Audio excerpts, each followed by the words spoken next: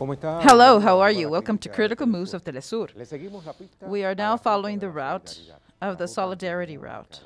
This is the south, the road of the solidarity of sovereignty, about the first uh, ships that are that arrived to Venezuela with all the additives. This is what we're going to be reflecting on. How has the process been? What are the reflections? What is the symbolism of this act? Let's analyze this and begin.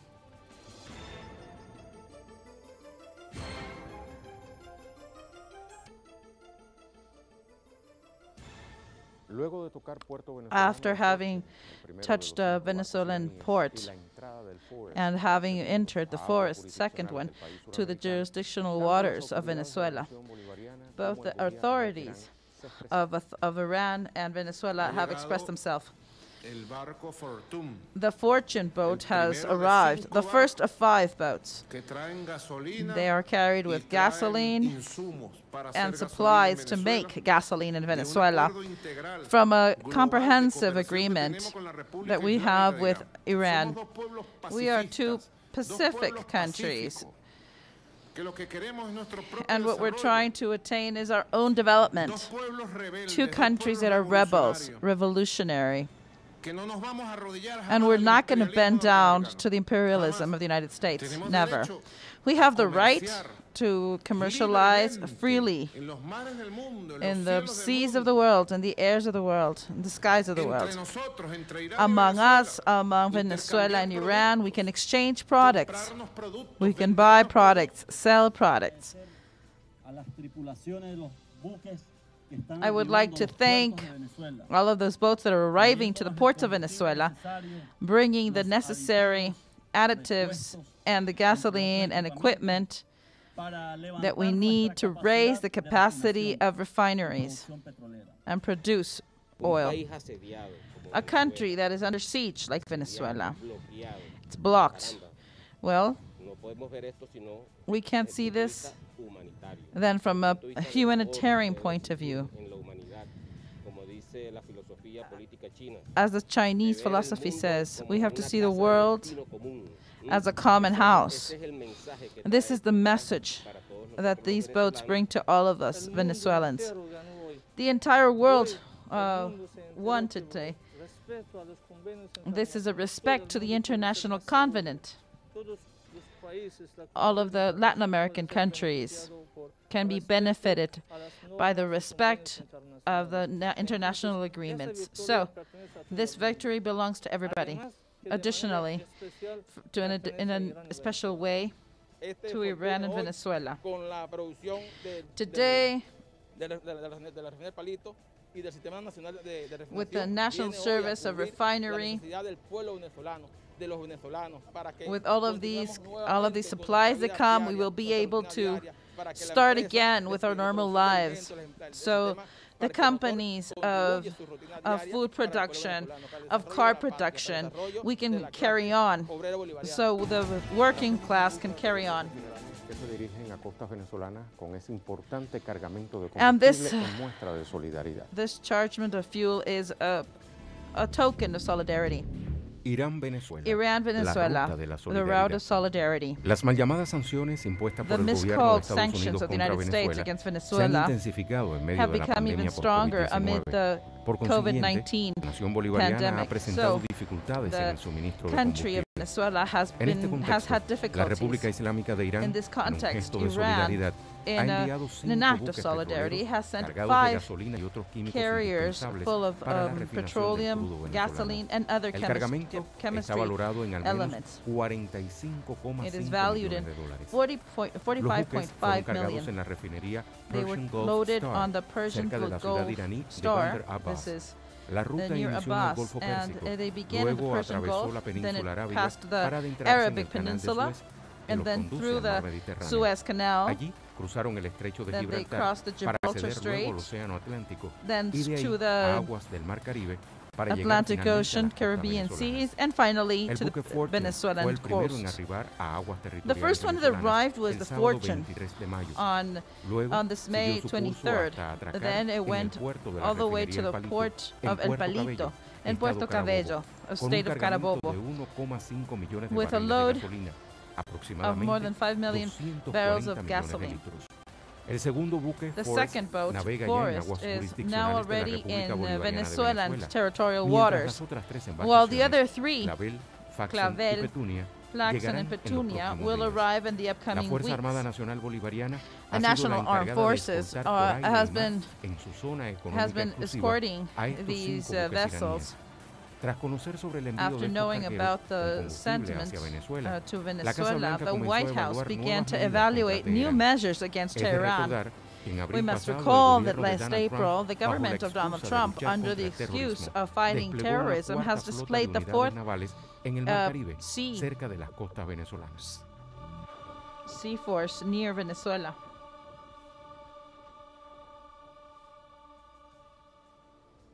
Y nuestra corresponsal Madeleine García. And our correspondent minuto Madeleine Garcia toda esta ruta followed this route step by step. De que me hable I entonces a want to, continuación. uh, she is now with us and she wants to comment.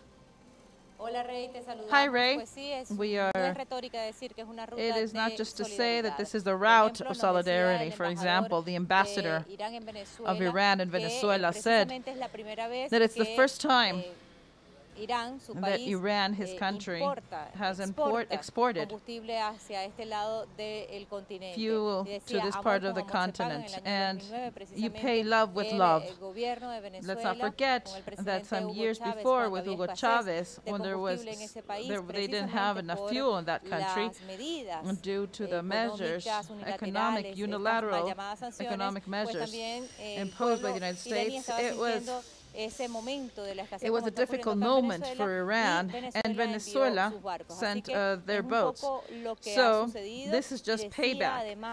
He, the ambassador ah, also said eh, ese preciso momento that that precise moment symbolized how both countries a Estados Unidos a obligated United States to respect the international law. perseguidas, dos naciones, These are two eh, countries that have been under siege amenazadas, sin embargo, and threatened.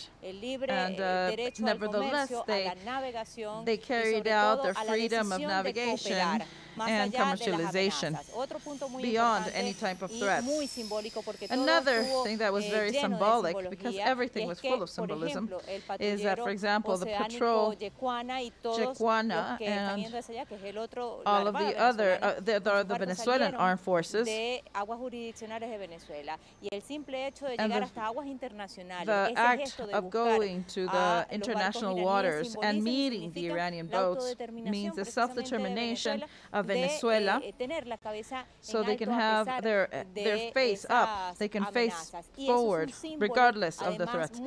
This is a very importante, lo ha important tomado así el symbol that uh, Iran has also eh, taken like this, venezolana, es decir, un that, barco the, that a military boat eh, has gone to escort plenas the Iranian internacionales la paz. Es decir, y esa misma So this eh, same connotation, the same, this same message going through jurisdiccionales de Venezuela, diciendo, jurisdictional waters of eh, Venezuela, logrado y hemos marcado and we have therefore marked a very important um, decirle al mundo entero que standpoint, and that we are resto de los saying that Venezuela and Iran en alto para must keep their head held up high so they can advance in defending their ¿Qué es lo que rights. está ocurriendo en el día So, de hoy? Por ejemplo, what is happening now, we were informed that Fortune, que está the Fortune ship that is eh, in El Palito poco comienzan a refinery descargar el combustible, is uh, unloading all of the descargarlo, y allí, fuse- bueno, fuel. eh, This is going to be like tema de la 40 hours.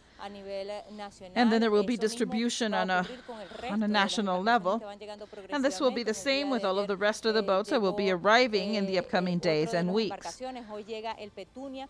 Falta Today, the Petunia will arrive. encuentre la Armada venezolana And uh, it's going to be in a eh, couple of sucedió con el moments when the el segundo barco, Venezuelan armed forces will meet eh, these, uh, these boats are coming from Iran. te repito, muy importante These are a para ve- el very important symbolism for the Iranian government that the Venezuelan eh, armed forces is eh, escorting them eh, all the way to Venezuelan territory. y de hecho, ese fue el mensaje. Y el, el el lunes se espera And on Monday, it que is llegue ya expected to the last the last boat to arrive, and this would be the end of this operation and this important solidarity mission. coordinada por todo lo que acabas de describir. Well, apparently everything is very well coordinated. Thank you very much, nuestra Madeleine Garcia. This Caracas, she's our correspondent in Venezuela. entonces una pausa. So let's go to a puede pause, and uh, let's not forget that you can participate with us in the question of the day. Se fortalecen las relaciones It is, um, con el arribo de los The relationships persa a la between Iran and. Venezuela are strengthened between, with the arrival of these boats to, to Venezuela. hegemonía de Estados How does this geopolitical move Vamos a la uh, pausa y muy influence the, their relation? We'll be right back.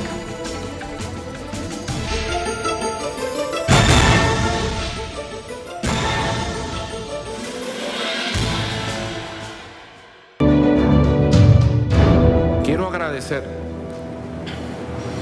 desde el corazón From the bottom of my heart, más noble y sensible del pueblo de Venezuela, of the people of Venezuela, pueblo, to the people of the Republic Islámica Irán, of the Islamic Republic of Iran, to the President Rouhani, my friend and companion, supremo, to the supreme leader, the Ayatollah, Khamenei, a follower del legado histórico of the historical Ayatollah Khomeini, and to all of Iran from the bottom of our hearts por su solidaridad, for their solidarity, for their support.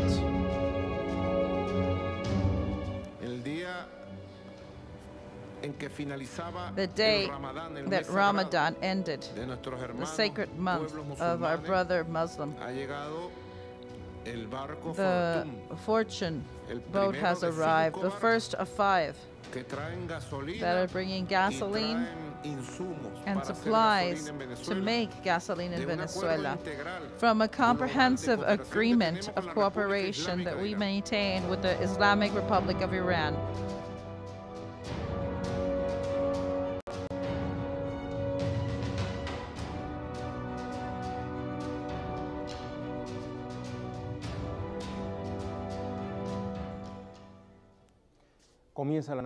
Let's begin the analysis and our critical moves from Lebanon.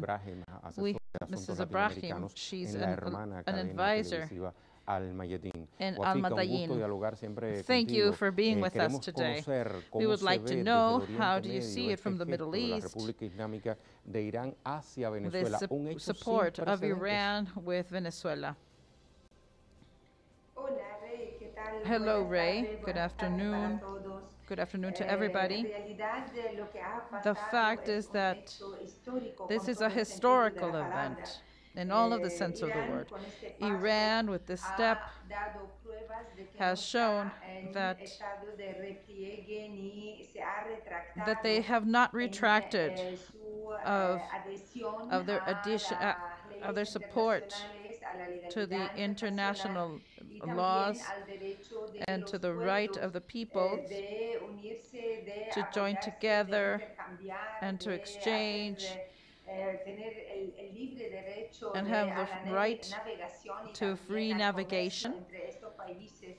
Eh, Irán, cuando Iran, más se piensa que está siendo when you think that they're being blocked or that they have decided to to stand still, but that's that's not so. Irán en momentos como estos, en Iran always grows in moments such as these, moments of crisis, and they eh, show that eh, they are y más que practically and more than ever, reina de los estrechos y de los mares, they are the queens and kings of the straits and the seas. And there's where we see that the international security of Iran is part, incluso en alta mar y viceversa. even at high Eh, seas, Iran, eh, ha- para, para los árabes y para for the Arabs and for the people of the Middle East eh, han visto que Irán they have seen that Iran dos pájaros de un has been able to shoot two birds with one shot. One going against the blockade, uh, the energetic blockade Venezuela, y al against Venezuela, tiempo ha roto su and at the same time, bloqueo, o sea, they have broken their own blockade. These sanctions that were imposed by the same empire, which is the American one, And this has been greatly appreciated by the other peoples because the courage with which, uh, Venezuela and Iran have worked,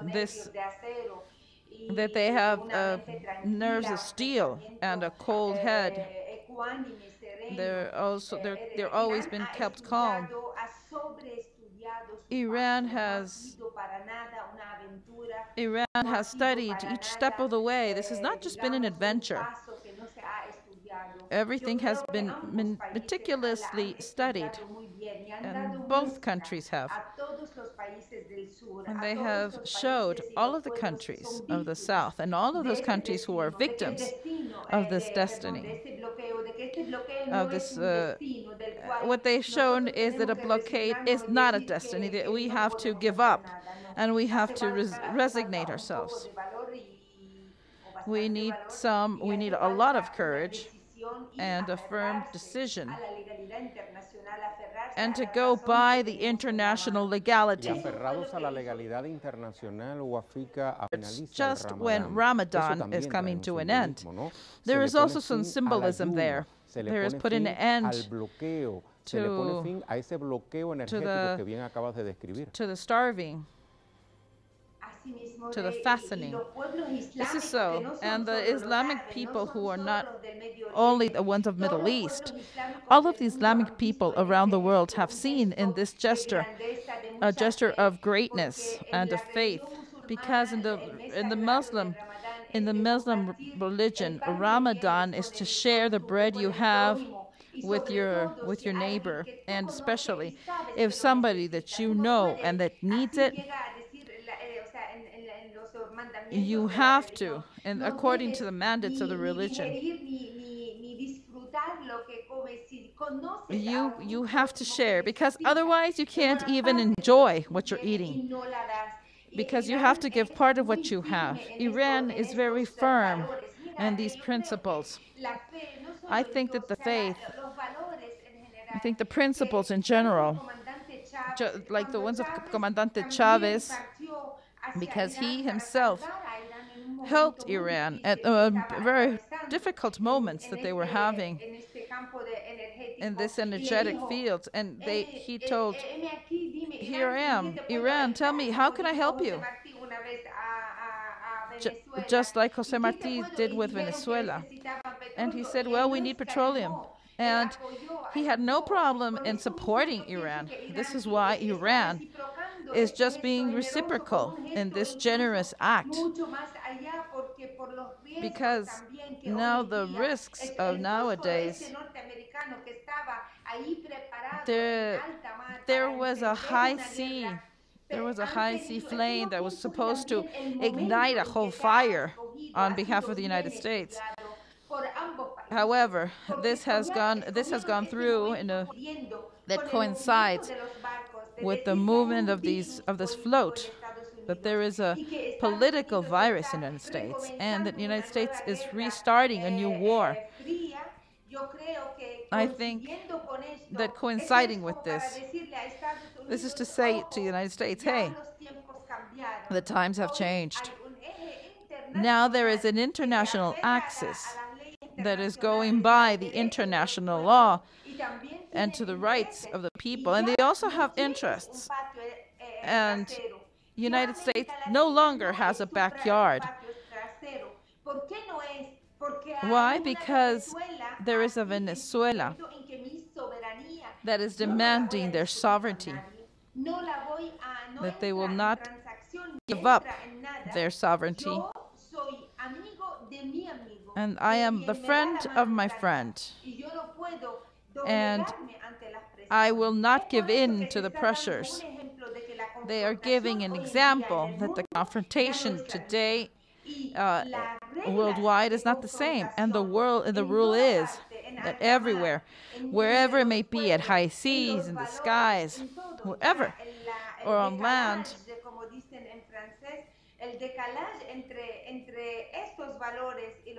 And what is necessary realmente es abismal, es is that we have to abide by our principles. gracias por estas palabras Wafika, thank you very much for your words to la jugada Telesur and for muy. Jugada Crítica. See you soon. Nos acompañaba desde el She was from Eh, Lebanon. establecemos entonces, una pausa So let's go to our first pause. crítica. Recuerde que puede participar Let's not forget, not, not forget that you can participate with us through the question of the day. con el arribo de los The buques El País strengthening of the relations between. Ina- Iran and Venezuela with the arrival of the Persian boats to the Bolivarian víctimas de la nation? Does this have an influence, a Unidos? Denos su geopolitical, opinión sobre este último aspecto. geopolitical influence on all of the victims of, uh, especialistas que me van a of this of this situation. estudio de la jugada We'll be right back. Usted también lo puede hacer durante los minutos que siguen. Acompáñenos.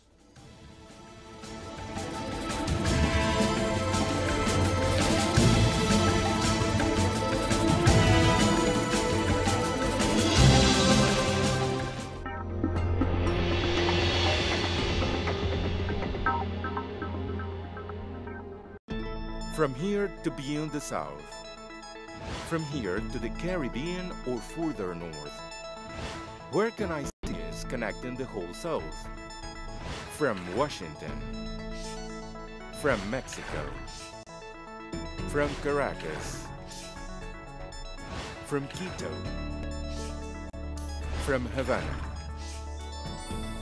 You can always see the news from a new vision, connecting the global South only on Telesur.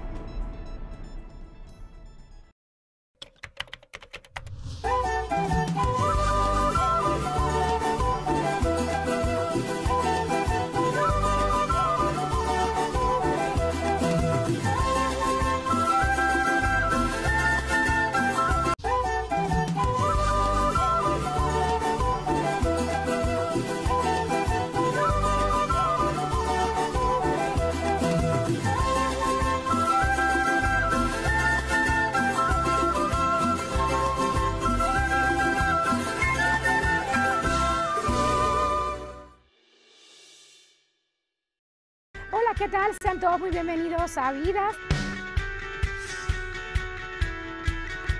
Hay lugares donde el arte se unifica con el orgullo de los pueblos. Y esos lugares están llenos de colores, alegría, pasión, tradiciones, arraigo, valor y entrega. Real Life. Fridays. Only on Telesur.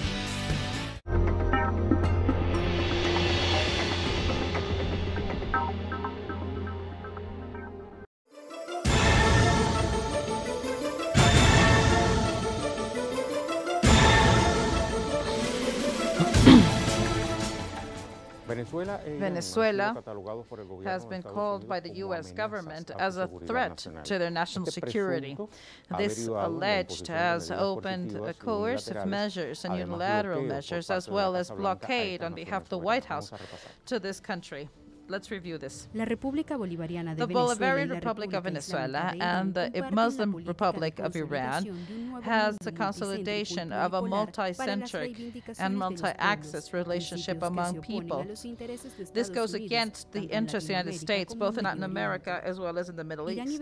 Iran and Venezuela como rivales de la are seen as Blanca y se rivals of the Washington White House, and they have applied coercive measures and unilateral measures that go right against their Irán ha sido industrial sectors. Durante Iran has been an object of impositions of que se han illegal sanctions that have increased with the arrival of Donald Trump and after the ousting of the uh, suscrito en 2015 of the ousting of the U.S. Islámica y el grupo of the nuclear agreement. que también integran Reino Unido, Francia, Let's not forget that this also was among uh, entre the two countries and the G plus five. asesinato del general After the Soleimani, comandante de la assassination of Qassem al-Quds Kul- del Cuerpo de la Soleimani, the relationship went even worse. en medio de un ataque This was amidst uh, of an attack of U.S. desde enero. armed Al armed mismo tiempo, la forces. política hostil que aplica hoy la The hostile act- activities against uh, Venezuela are also trying to be blackmail, trying to destabilize. There has been mercenaries invasions and attempts of coup d'etat, sabotaje con la complicidad de la sabotage, as well as trying to kill the president. En sus intentos por In all of their attempts to discredit both nations, the Department of State incluido en la has included them in the list of countries that colaboran en la allegedly do not collaborate against condición que ha terrorism. This condition acoso, persecución has y gone has also uh, has as a conclusion to have more sanctions. Comienza la segunda parte del Let's begin our second part of the analysis, as we acompañan said en esta ocasión dos before. We have two Saldín, expert eh, experts. analista, experto en temas del Oriente Medio, y Gabriel Aguirre, And we have Gabriel Aguirre, Secretary of the Solidarity Committee with ambos les doy las Venezuela. gracias por haberse I would like to a los estudios thank you both uh, to, pesar to de la coming to the estamos guardando las studios of debidas, uh. Telesur. Para que el We are having social distancing. Casa. Eh, estaba dialogando Bassem, con, I eh, was Wafika talking with uh, Wafika with Lebanon. All of the symbolism Eh, la llegada a puertos that the arrival to safe ports of Venezuela, of these, of these floats that are loaded not only of gasoline eh, and and additives and para, piece and eh, parts that are needed to restart the refinery of Venezuela, they also come with solidarity. Y es quizás el hecho político And maybe the political and the symbolic act is the most important thing. Iran the fact that Iran has able to defy and overcome a criminal blockade, que haya desafiado el that they have imperialismo y su defied the imposición y sus imperialism and the, their threats, hasta de bombardear los tanqueros. and they said that they were going to bombard these oil carriers. propios Estados Unidos. That would have been terrible for the United States themselves because it's Lo hemos dicho ya mil veces. Es una potencia media en la región. because que tiene un Iran is a strong is a strong power. They have strategic power that they could have a los a Estados Unidos y similar el Medio Oriente, donde damage or even worse in the Middle East. Claro. Una vez que Estados Unidos dijo que iba entonces a United reforzar States uh, said that they were going to reinforce their their presence in the. Venezuelan y, coasts. eh, diciéndolo en el español más And popular they posible, said it- dijeron, láncense. They said, Sí, okay, try it. Échenle, pues, como se dice aquí como decimos aquí. Pero fíjate, entonces está el But hecho so, simbólico político, this symbolic political act, the defiance and the política frente a victory, este bloqueo, this está policy against the que no blockade, this act that porque the no West does not understand estudios, because with all of their studies and all of their tanks, they do not understand. And people who know about the Irán es un Muslim culture, for example, Iran is a Persian country, but with Muslim religion, conocen el hecho they don't know une a todos los pueblos, al what persa y al árabe, joins all of the, todos los pueblos these people, musulmanes, el hecho de the Muslim and the Arab.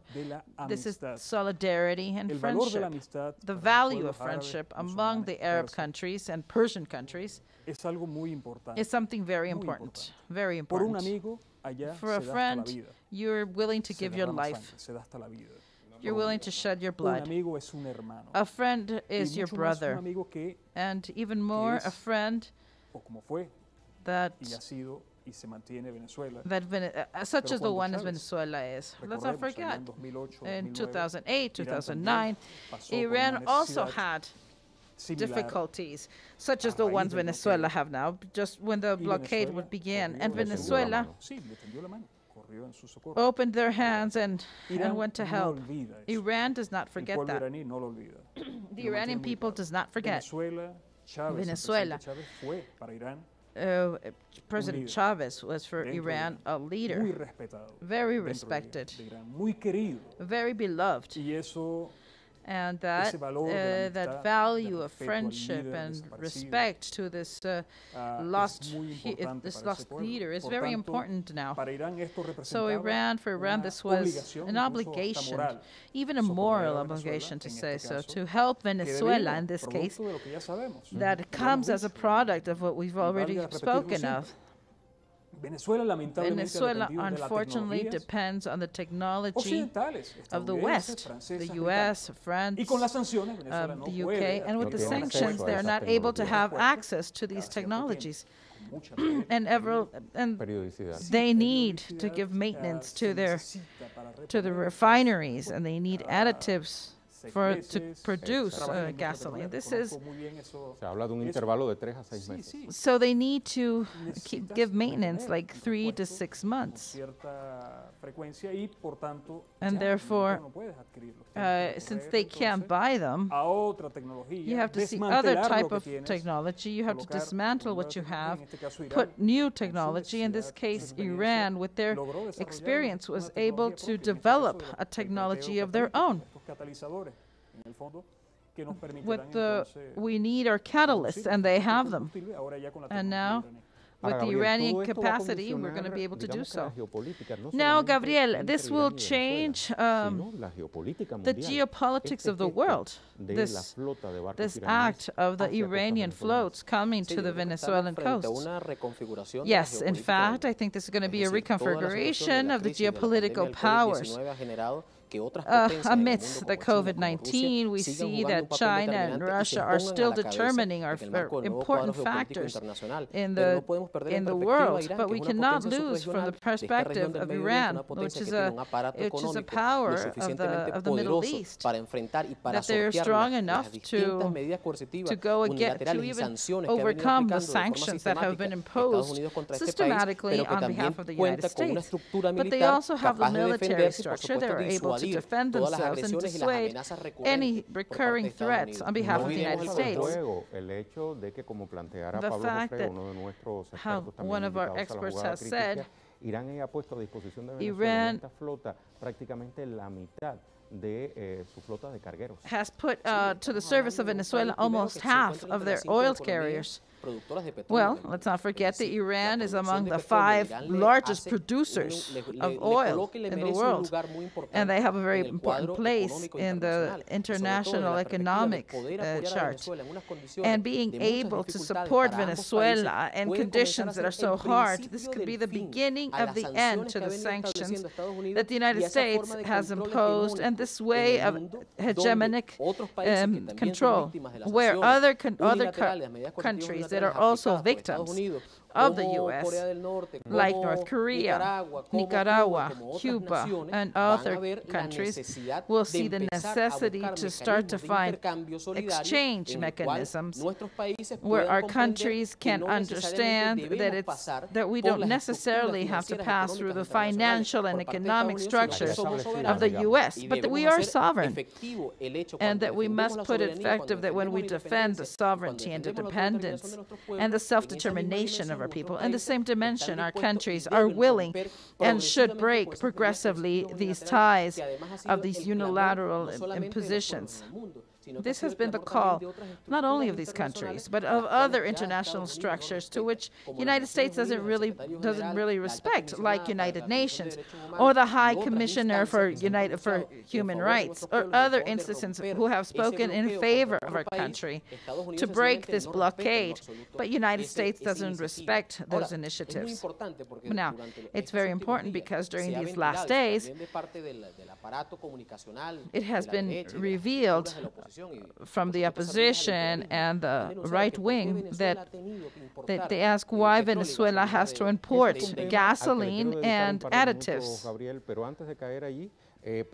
Before we go to that topic, let me ask Bassem how he has seen this, this lesson of sovereignty that Iran is giving in the region where they are.